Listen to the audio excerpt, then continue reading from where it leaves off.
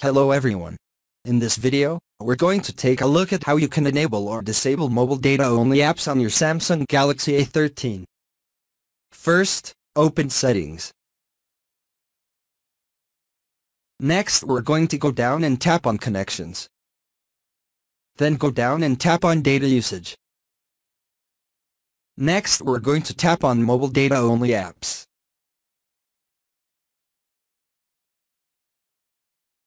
You need to go down the list and select the apps that you would allow to use it to allow the app to use mobile data. This will force the app to always use mobile data even if you're on a Wi-Fi network. For example, I select YouTube.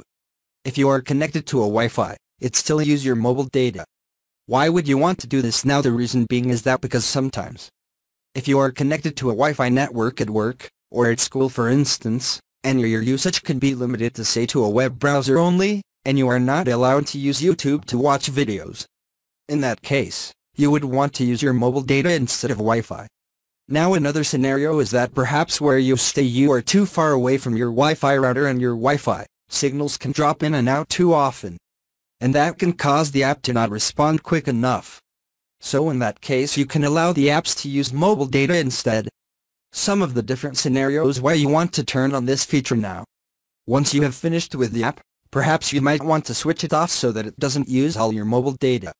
When you're going home, make sure that you go back in here and turn off YouTube.